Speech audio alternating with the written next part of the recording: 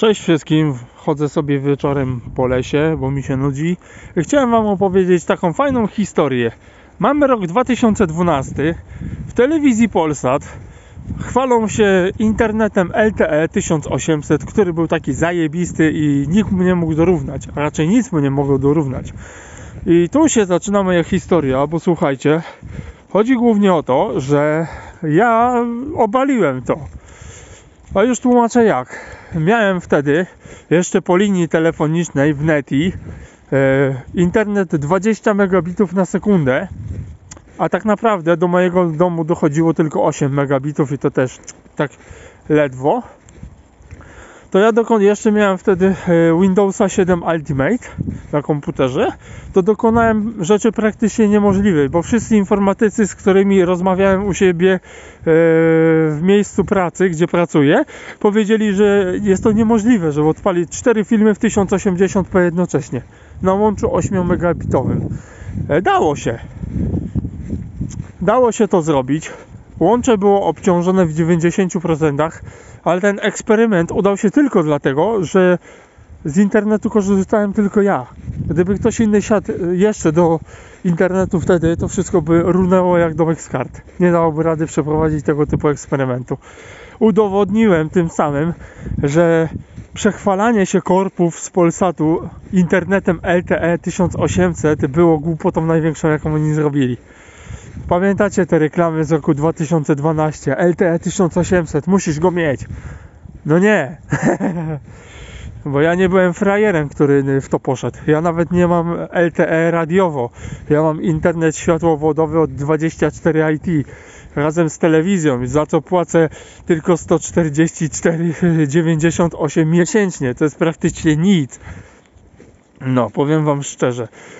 I dlatego opowiadam Wam tą historię, że po prostu wyłączyłem prawie wszystkie usługi w Windowsie po to tylko, żeby przeprowadzić ten eksperyment, który się powiódł.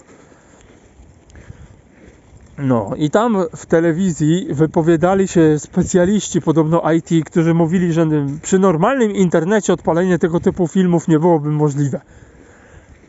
Czyżby? No, więc powiem Wam szczerze, chciałem Wam opowiedzieć taką śmieszną historię, e, która jest naprawdę śmieszna, bo dowodzi tego, że po prostu ja potrafię zrobić rzeczy, o których się niektórym nie śni. Nawet. A żeby, wiecie, zrobić sobie gigabitowy internet w domu, to musicie mieć router, który jest na światłowodzie.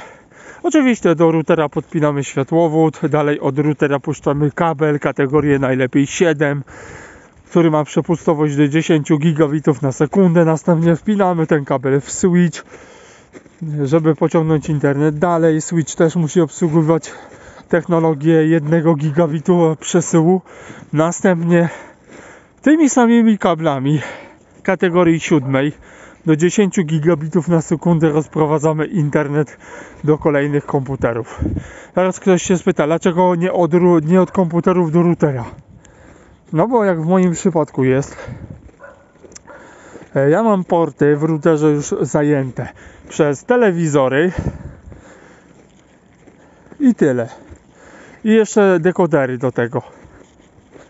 Więc powiem Wam szczerze, że musiałem kupić Switcha wtedy, żeby jakiś internet mieć. A teraz to modyfikuję. Więc powiem Wam tak. Po kablu kategorii 7 do 10 gigabitów na sekundę powiem Wam tak. Jakość internetu, który odbieram w komputerze z Linuxem wzrósł, powiem szczerze, o 50%. Oczywiście dalej jest przesył 100, 100 megabitów na sekundę tylko, ale jakość połączenia już jest o wiele, wiele lepsza. Powiem Wam szczerze. Jakość jest o wiele, wiele lepsza. Ok, trzymajcie się na razie. Miło mi było, że mogłem Wam opowiedzieć.